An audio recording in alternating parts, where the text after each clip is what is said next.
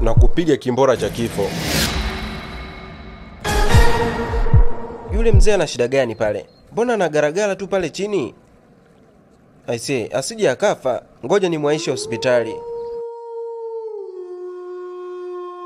Nasikitika kukwambia pole, pole sana kijana mwenzangu. Tumejitahidi kila njia kumsaidia mgonjwa wako, lakini tumeshindwa.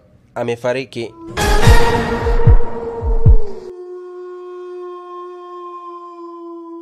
Nyie mmezipata hizi taarifa? Athumani Makofi amefariki, amepigwa sijui na kiumbe gani cha ajabu kwa ustadhi pale. Baada ya hapo akawa anagalagala chini, ustadhi akamsaidia akampeleka hospitali, amefia hospitali. Mimi nilijua tu kwamba Athumani hatoboi leo, hatoboi kabisa kwa yule mganga. Shogangu, wewe umechelewa kupata taarifa, sisi ndo tumeanza kulishuhudia pambano. Acha Athumani afe, tumemchoka. Safi sana.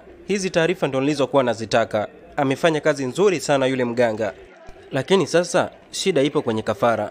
Nitaipata wapi kafara ya kumpatia huyu bwana? Hongera mganga wangu, umefanya kazi nzuri, nashukuru sana. Mm, lakini sijafata pongezi hapa.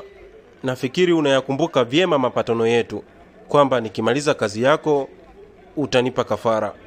Nahitaji kafara yangu kesho, na kama inawezekana, namhitaji yule binti mhudumu wa hii baa yako awe ndo kafara.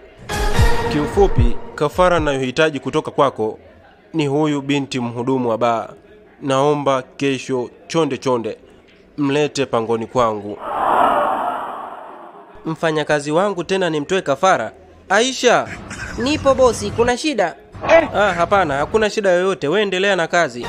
Bosi naye anawaza nini? Saizi ni mwendo wa kuwa na furaha tu, wateja watarudi kwa kasi, watafurika. Yule kivuruge kashafariki. Hivi we Nondo mwanangu, una shida gani? Una tatizo gani haswa limekusibu? Maana toka jana na kuona unatetemeka tetemeka, mara unaongea peke yako. Shida ni nini? Athumani mama, nilikutana na Athumani uso kwa uso. Athumani tena? Si nilikwambia mimi usimkaribie kabisa huyu mtu. Imekuwaje ukamfuata kwenye anga zake? Hapana mama, mimi sijamfuata, ila kuna mtu alikuja hapa akaniuliza wewe ni mganga? Nikamwambia ndiyo, mimi ni mganga maarufu, naitwa Nondo. Akanambia sasa, mimi kuna babu yangu kageuzwa kibwengo, naomba twende ukamsaidie, lakini hakunambia mazingira halisi yaliyotokea. Sasa nilivyoenda kule ndio nikakutana na Athumani kamgeuza huyo bwana kibwengo, lakini nimekimbia, hajanigusa. Eh, Nondo mwanangu, wewe uwezo wa kumsaidia mtu aliyegeuzwa kibwengo umeutoa wapi? Umeutoa wapi huo uwezo? Mbona unajiingiza kwenye mambo ambayo hayakuhusu?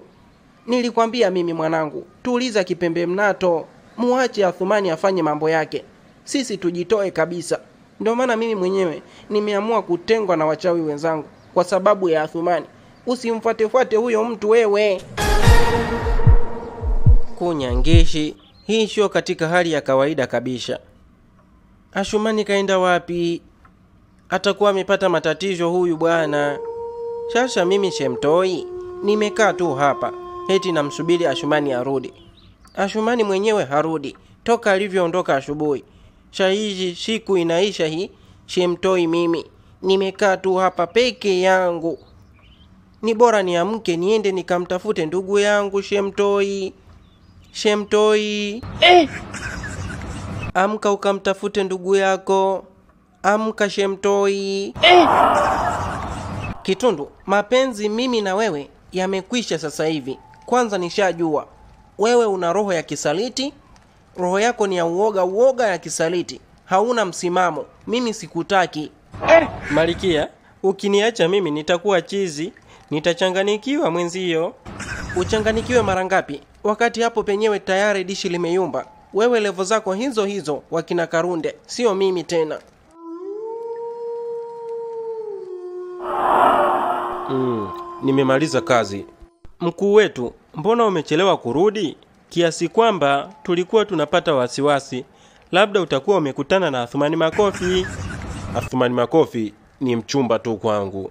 Kimsingi ni kwamba hatunaye tena. Nimepiga ndege wawili kwa kutumia jiwe moja. Nimemuua Athumani Makofi nimemrudisha yule babu katika hali yake ya kawaida. Eti nini? Kwa hiyo Athumani Makofi amefariki, amekufa, kwa hiyo hatutamuona tena.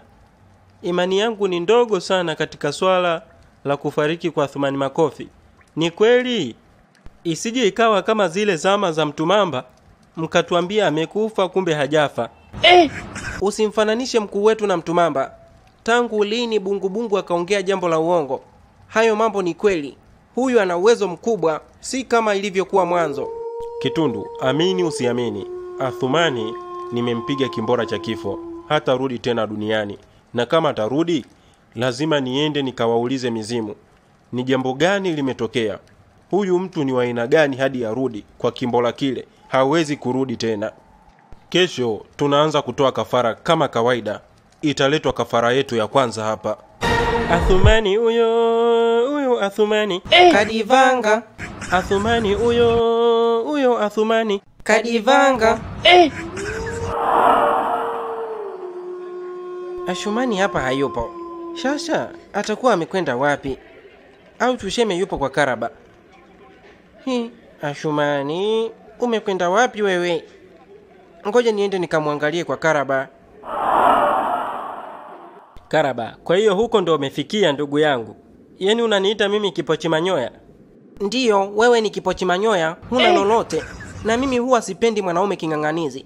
Wewe huna tofauti na nondo au mpinda mbavu, wote ndio wale wale tu. Naomba uondoke hapa nyumbani kwangu. Ehe, tena nafikiri Asumani huyo ndo anakuja. Ngoja aje akugeuze tena ngedere hapa. Pumbavu, amekuwa muoga sasa hivi. Mtumamba si mtumamba tena. Eh, Huyu Shemtoi amefata nini tena hapa? Eh, hapa tena hayupo. Shasha amekwenda wapi Ashumani? Ashumani, uko wapi ndugu yangu? Mie Shemtoi ndugu yako nakutafuta kila kona, sikuoni. Dr. William, yule bwana amefariki, na bahati mbaya huyu kijana hapa si ndugu yake, ni mtu tu wa kumwokotaokota barabarani. Kwa hiyo nilikuwa naomba uchukue mwili wake ukauhifadhi mochwari. Okay, sawa, ngoja nifanye hivyo. Bungubungu bungubungu bungu bungu, we bungu bungu, we bungu bungu bungu bungu.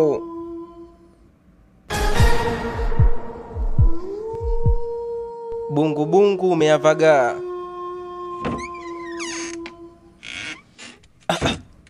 Imekuwaje tena huyu maiti? Mbona kaamka? Mungu wangu, huyu sio binadamu wa kawaida, macho yake yanawaka. Yesu Kristo! Eh, Madaktari wenzangu, msaada! Maiti kaamka! Oh, Allah Allah oh,